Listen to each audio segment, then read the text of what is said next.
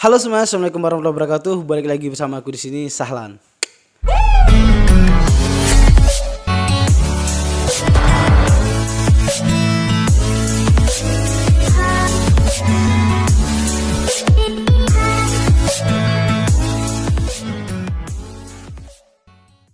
So guys, apa kabar kalian semua hari ini? Semoga selalu hal keadaan sehat dan selalu hal keadaan baik-baik saja tentunya. Dan semoga selalu kita semua selalu dalam lindungan Allah Subhanahu wa taala gitu guys ya. Dan buat teman-teman aku yang masih beraktivitas, selamat beraktivitas guys. Dan buat teman-teman aku yang sudah beristirahat, selamat beristirahat. Oke, nah jadi di video reactionan kita kali ini, ini adalah salah satu video yang tidak kalah menariknya gitu guys ya. Nah jadi di sini mungkin tidak asing lagi di kuping kalian gitu ya, tidak asing lagi di mata kalian. Ini adalah salah satu channel dari Indonesia guys. Nah yang bernama adalah Top 5 Merdeka yang mana dia ini suka membahas antar negara dan ke negara lainnya hal-hal unik, hal-hal yang menarik juga gitu ya. Dan di sini yang membuat aku tertarik untuk ngeriak dan nonton bareng kalian. Nah, jadi di sini itu adalah sebuah kemajuan negara yang berjudul adalah inilah 5 jembatan jalan raya terpanjang di Asia Tenggara pada tahun 2021 guys. Nah, jadi di sini bisa menggambarkan adalah sebuah kemajuan negara gitu ya, baik Indonesia maupun negara Malaysia gitu. Nah, dan kita sama-sama mengejar ketertinggalan kita gitu guys ya. Dan ya banyak sih yang mengakui beberapa negara Malaysia ini sangat mengejar ketertinggalan mereka gitu karena responsif sebuah kepemimpinan mereka untuk membina dan membangun sebuah ketertinggalan pada negeri mereka tersendiri gitu ya. Oke, nah jadi di sini tanpa berlama-lama lagi, tanpa berbasa-basi lagi, jom langsung aja kita tonton videonya karena aku juga merasa penasaran seperti apa sih ya jembatan terpanjang di Asia Tenggara pada tahun 2021 ya. Jadi kita mau tahu bagaimana urutan Indonesia dengan Malaysia gitu. Jadi di sini tidak ada maksud untuk membanding-bandingkan beberapa negara atau tidak ada maksud untuk membanding-bandingkan mana-mana negara, terkhususnya Indonesia dan Malaysia. Yang mana kemajuan negara Malaysia adalah kebanggaan Indonesia dan begitu pula sebaliknya kemajuan Indonesia adalah kebanggaan rakyat Malaysia juga. Oke, so jadi tanpa berlama-lama lagi langsung aja kita tonton videonya. Dan bagi yang menonton video sini aku sudah perpilih di dalam description box aku. Dan bagi teman-teman yang baru singgah channel ini jangan lupa juga klik tombol subscribe di bawah dan bisa juga follow Instagram aku di sana. Di sana kita bisa saling kenal dan saling tukar pikiran satu sama lain, guys. Oke, 3 2 1 let's go.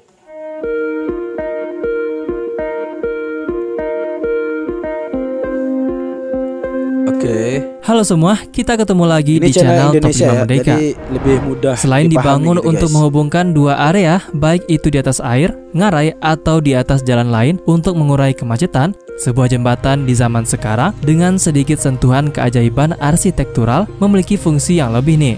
Apalagi di banyak kota besar di Asia Tenggara seperti Jakarta dan Malaysia, jembatan telah menjadi beberapa tempat wisata utama, baik untuk keindahan maupun panjangnya. Nah, maka dari itu untuk video kali ini kita akan membahas jembatan terpanjang di Asia Tenggara. Namun agar lebih jelas lagi pembagiannya, untuk video ini kita khusus hanya akan membahas jembatan tipe jalan raya saja yang pada umumnya dilewati kendaraan roda 4 ke atas. Kan ada juga tuh jembatan kereta cepat, MRT, dan yang lain-lain. Nah, untuk tipe ini mungkin akan kita bahas di lain kesempatan. Oke, inilah 5 jembatan jalan raya terpanjang di Asia Tenggara tahun jembatan 2021 jalan raya, oke. versi Top 5 Merdeka. Jembatan terpanjang di Asia Tenggara pada tahun 2021 guys. Nah, jadi di sini bisa menggambarkan bahwa hasilnya sebuah kemajuan negara gitu ya. 5. Penang Bridge. Penang Bridge. Wow, Penang. Bagian Penang orang Bridge Penang silahkan atau jembatan. Penang merupakan jembatan tol jalur ganda Oh. yang berada di negara bagian Penang, Malaysia.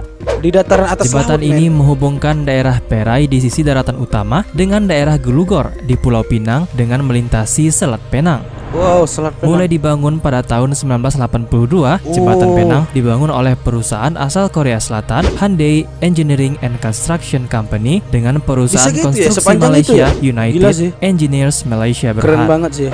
Nah, Tentu jembatan ini sih memiliki panjang ya. keseluruhan 13,5 km dengan 13. bagian yang berada di Wow. atas air sepanjang 8,4 km. Heeh. Berada di 33 meter di atas air, jembatan Penang terdiri dari jalan raya yang memiliki tiga lajur di setiap arah dengan batas kecepatan 80 km per jam. Wow. Pertama kali dibuka pada 3 Agustus tahun 1985, jembatan Penang hingga sekarang menjadi jembatan terpanjang kedua di negara Malaysia. Dan hingga tahun 2014, jembatan ini menjadi satu-satunya jalan penghubung antara daratan utama negara Malaysia dengan Pulau Pinang. Wow. Indah banget sih guys, serius dah. 4. Sultan Abdul Halim Muazzam Shah Bridge Wow. Masih dari Malaysia. Kali ini Masih ada dari jembatan Malaysia lagi, Sultan guys. Abdul Halim Muazzam Shah atau yang juga dikenal dengan nama Jembatan Penang Jembatan Kedua. Penang kedua, ya. Kalau kita lihat di peta, jembatan ini berada di bawah jembatan Penang yang kita bahas sebelumnya dengan konstruksi yang lebih panjang. Jadi, Wow. sama kayak jembatan Penang, jembatan Sultan Abdul Halim Muazzam Shah ini juga jembatan tol jalur ganda yang terletak di negara bagian Penang, Malaysia. Namun kali ini menghubungkan daerah Batu Kawan di daratan utama dengan daerah Batu Maung di Pulau Penang dengan panjang keseluruhan 24 km, 16,9 km bagian yang di atas air menjadikan jembatan ini sebagai yang terpanjang di negara Malaysia.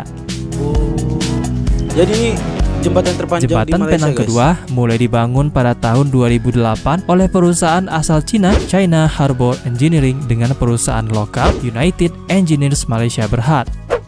Mulai dibuka pada 1 Maret tahun 2014, Pada tahun jembatan 2014. Penang kedua ini dinamai setelah nama yang di Pertuan Agong ke-14 almarhum Tuanku Abdul Halim Muazzam Shah. Wow. Luar biasa.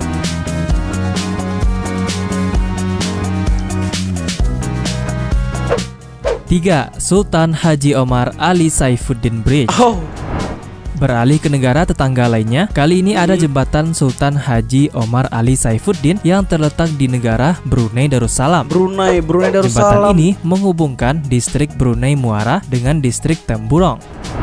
Menjadi satu-satunya jembatan di Brunei yang menghubungkan daratan utama dengan distrik Temburong, jembatan Sultan Haji Omar Ali Saifuddin ini memudahkan penumpang untuk melakukan perjalanan antara dua wilayah tersebut tanpa harus lewat negara Malaysia. Karena Wow. memang sebelum adanya jembatan ini, satu-satunya akses langsung hanyalah taksi air yang memakan waktu hingga 45 menit. Juga dikenal dengan nama Jembatan Temburong, jembatan, Jembatan ini mulai Temburong. dibangun pada tahun 2014 yang lalu dan selesai pada tahun 2020 kemarin. Jadi baru selesai nih dengan panjang total 30 km Oh, ini dan memakan baru, biaya ya? sekitar 1,6 miliar dolar Brunei Wow. atau sekitar 17,5 triliun rupiah. Jembatan Temburong ini dibangun oleh perusahaan asal Korea Selatan, Dailim Industrial, dengan perusahaan Cina, China State Construction Engineering.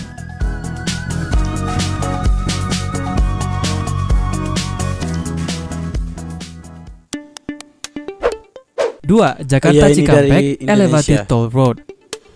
Wow. Kalau tiga jembatan sebelumnya terletak di atas air, yang satu ini merupakan flyover atau tol layang yang membentang dari Cikunir, Bekasi sampai ke daerah Karawang di Jawa Barat, Indonesia dengan melewati beberapa ruas jalan tol Jakarta Cikampek.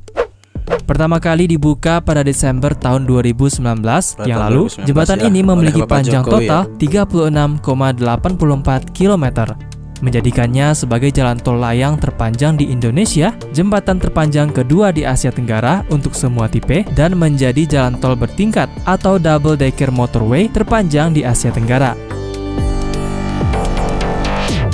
Dibangun sejak tahun 2017, jembatan ini memang diperuntukkan untuk kendaraan pribadi dengan tujuan untuk mengurangi kemacetan lalu lintas di wilayah Greater Jakarta alias Jabodetabek serta untuk mengurangi Iya sih, beban kalau pada jalan tol Jakarta Cikampek. sangat betul-betul Nah, pada tanggal 12 April tahun 2021 kemarin, ya baru-baru ini, jembatan ini mengalami pergantian nama menjadi Sheikh Mohammed bin Zayed Skyway.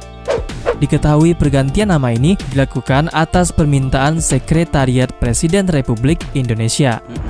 Sheikh Muhammad bin Zayed ini merupakan pangeran mahkota Abu Dhabi serta ketua Dewan Eksekutif Abu Dhabi yang ternyata di Indonesia juga menjadi ketua Dewan Pengarah Pembangunan Ibu Kota Baru yang bertugas untuk memberikan masukan, nasihat, mempromosikan, serta membangun kepercayaan investor global agar mau berinvestasi di Indonesia. Sebelum kita lanjut ke nomor satu, pastikan kamu tekan tombol merah subscribe di bawah dan juga Oke, lonceng notifikasinya baru supaya singgah, kamu tidak ketinggalan kalau ada video baru dari channel, channel ini. top 5 Merdeka 1. Bangna Expressway Bana Expressway. Terakhir ada Wow. Bangna Expressway yang juga sama seperti jembatan Jakarta Cikampek. Bangna Expressway ini juga merupakan tol layang. Jembatan ini merupakan tol 6 lajur yang terletak di kota Bangkok, Thailand Bangkok, dengan berjalan Thailand. di atas rute Jalan Raya Nasional 34.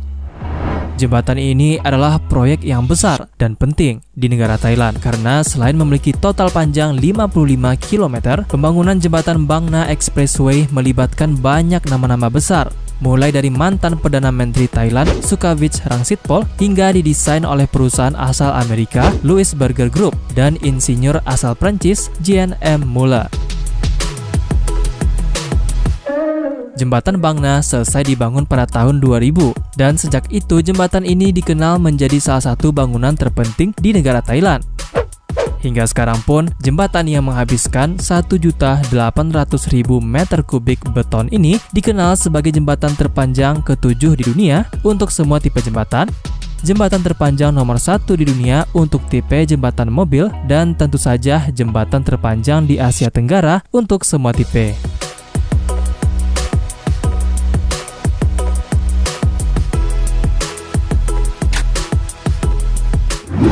Jadi itulah dia 5 jembatan jalan raya terpanjang di Asia Tenggara Wow. versi top 5 Merdeka. Nah, kalau kamu punya info tambahan atau punya ide untuk video baru, tulis aja di kolom komentar. Jangan lupa Oke nah jadi itulah dia video-video dari Top 5 Merdeka yang mana ini adalah 5 jembatan terpanjang di Asia Tenggara pada tahun 2021 guys. Nah jadi bagaimana tanggapan kalian? Silahkan komentar di bawah. Semoga video ini bisa menginformasikan kepada teman-teman semuanya dan bisa menghibur teman-teman di rumah dan juga bisa menambah wawasan pengetahuan kita satu sama lain guys. So jadi di sini yang menarik adalah itu jembatan di atas laut. BDW itu sangat indah banget gitu ya. Selain kita bisa melewati dan melintasi jembatan tersebut, kita bisa memandang kanan dan kiri itu seluas mata memandang gitu ya lautannya gitu. So jadi sampai di sini dulu video ini dan kurang salah minta maaf. Jadi jika ada perkataan salah yang salah silahkan luruskan di dalam komentar. Jadi di sini tidak ada maksud untuk membanding-bandingkan beberapa negara dan lain negara apalagi Indonesia dan Malaysia gitu. Kita tidak bisa membandingkan negara kita dengan negara lain gitu ya. Melainkan kita bisa mengejar sebuah ketertinggalan negara kita gitu.